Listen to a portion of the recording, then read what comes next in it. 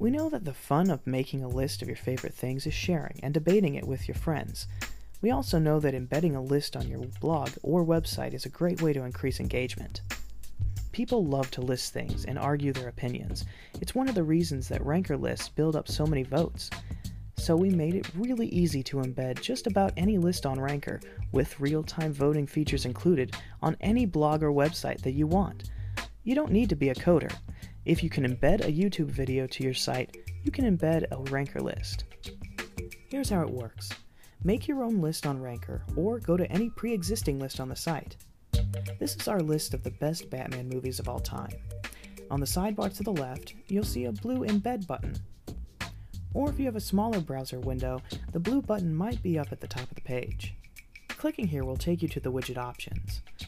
To get your widget ready, you just have to answer a few simple questions, most of them about how you want the widget to look and where it's going to end up.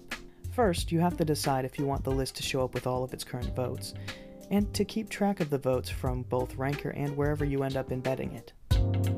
If you'd rather have a clean version of the list with only votes from you and your community, check Create Your Own Version. Next, choose what size you want the widget to be. We have three preset options, or you can choose a custom size. You can also choose how much of the list you want to show at a time. Your users can scroll down to see all the items no matter what. That's all the info we really need to make your Ranker widget. If you're in a hurry, go ahead and click Done and get your embed code.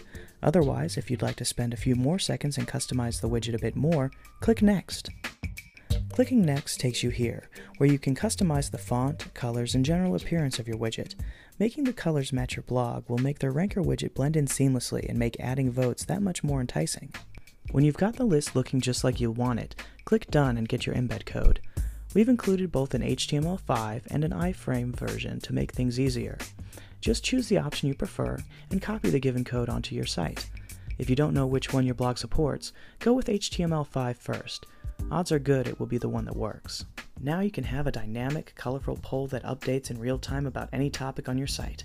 Because hey, these lists aren't going to rank themselves.